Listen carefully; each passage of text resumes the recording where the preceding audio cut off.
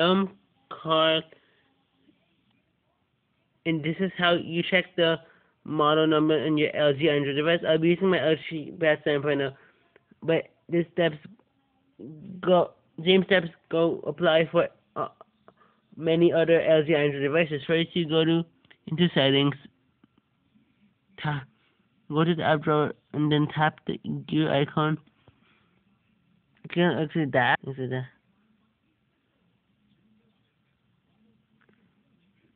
Okay, you go to a, about device, about tablet, or about phone.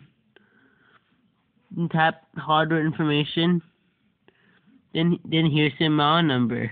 In this case, my for my LG 7.0 AT&T LTE version is LG-V410. This this video is made by my friend Victoria.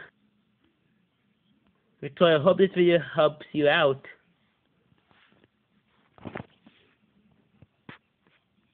I repeat, Victoria, I hope this video helps you out.